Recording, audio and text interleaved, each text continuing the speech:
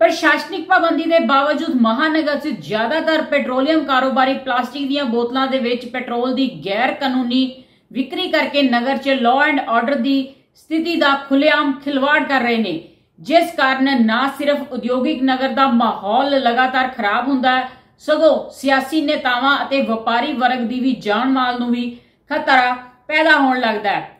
ਅ, ਅਜਿਹੇ ਦੇ ਵਿੱਚ ਪੈਟਰੋਲੀਅਮ ਡੀਲਰਾਂ ਦੀ ਲਾਪਰਵਾਹੀ ਦਾ ਫਾਇਦਾ ਉਠਾ ਕੇ ਨਗਰ 'ਚ ਅੱਤ ਮਚਾਉਣ ਵਾਲੇ ਸ਼ਰਾਰਤੀ ਤੱਤ ਸ਼ਹਿਰ ਦੇ ਵੱਖ-ਵੱਖ ਇਲਾਕਿਆਂ ਦੇ ਵਿੱਚ ਲਗਾਤਾਰ ਪੈਟਰੋਲ ਬੰਬ ਧਮਾਕੇ ਕਰਕੇ ਆਮ ਜਨਤਾ ਦੇ ਵਿੱਚ ਦਹਿਸ਼ਤ ਫੈਲਾਉਣ ਦਾ ਕੰਮ ਕਰ ਰਹੇ ਨੇ।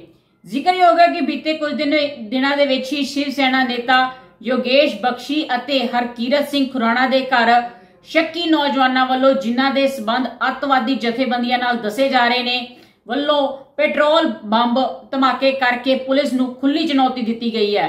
ਇਸ ਕੜੀ ਦੇ ਤਹਿਤ ਅਜਿਹੇ ਬੇਪਰਵਾਹ ਪੈਟਰੋਲ ਪੰਪ ਡੀਲਰਾਂ ਦੀ ਭੂਮਿਕਾ ਨੂੰ ਨਜ਼ਰਅੰਦਾਜ਼ ਨਹੀਂ ਕੀਤਾ ਜਾ ਸਕਦਾ, ਜੋ ਕਿ ਪ੍ਰਸ਼ਾਸਨਿਕ ਅਧਿਕਾਰੀਆਂ ਦੇ ਹੁਕਮਾਂ ਦੀ ਖੁੱਲੇਆਮ ਧੱਜੀਆਂ ਉਡਾਉਂਦੇ ਨੇ। ਪਾਬੰਦੀਸ਼ੁਦਾ ਪਲਾਸਟਿਕ ਬੋਤਲਾਂ ਦੇ ਵਿੱਚ ਖੁੱਲੇਆਮ ਪੈਟਰੋਲ ਵੇਚ ਰਹੇ ਨੇ। ਪੁਲਿਸ ਪ੍ਰਸ਼ਾਸਨ ਅਤੇ ਸਬੰਧਿਤ ਵਿਭਾਗਾਂ ਦੇ ਅਧਿਕਾਰੀਆਂ ਨੂੰ ਅਜਿਹੇ ਪੈਟਰੋਲੀਅਮ ਕਾਰੋਬਾਰੀਆਂ ਦੇ ਖਿਲਾਫ ਸਖਤ ਐਕਸ਼ਨ ਲੈਣ ਦੀ ਲੋੜ ਹੈ ਤਾਂ ਕਿ ਸ਼ਹਿਰ ਦਾ ਮਾਹੌਲ ਖੁਸ਼ਨੁਮਾ ਬਣਿਆ ਰਹੇ।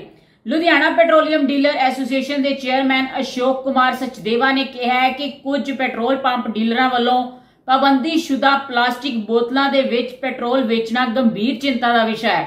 ਉਹਨਾਂ ਨੇ ਕਿਹਾ ਕਿ ਕਈ ਵਾਰ ਪੈਟਰੋਲੀਅਮ ਕਾਰੋਬਾਰੀ ਮਜਬੂਰੀ 'ਚ ਕਿਸੇ ਔਰਤ ਜਾਂ ਕਿਸੇ ਪਰਿਵਾਰ ਨੂੰ ਮੁਸੀਬਤ ਦੇ ਵਿੱਚ ਹੋਣ ਕਾਰਨ ਪਲਾਸਟਿਕ ਦੀਆਂ ਬੋਤਲਾਂ 'ਚ ਪੈਟਰੋਲ ਭਰ ਦਿੰਦੇ ਨੇ। ਪਰ ਇਸ ਦੌਰਾਨ ਕੁਝ ਲੋਕ ਇਸ ਦੀ ਦੁਰਵਰਤੋਂ ਕਰਦੇ ਆ, ਜੋ ਕਿ ਪੈਟਰੋਲੀਅਮ ਕਾਰੋਬਾਰੀਆਂ ਦੇ ਨਾਲ ਹੀ ਜ਼ਿਲ੍ਹਾ ਅਤੇ ਪੁਲਿਸ ਪ੍ਰਸ਼ਾਸਨ ਦੇ ਲਈ ਚੁਣੌਤੀ ਭਰਿਆ ਸਾਬਤ ਹੁੰਦਾ ਹੈ।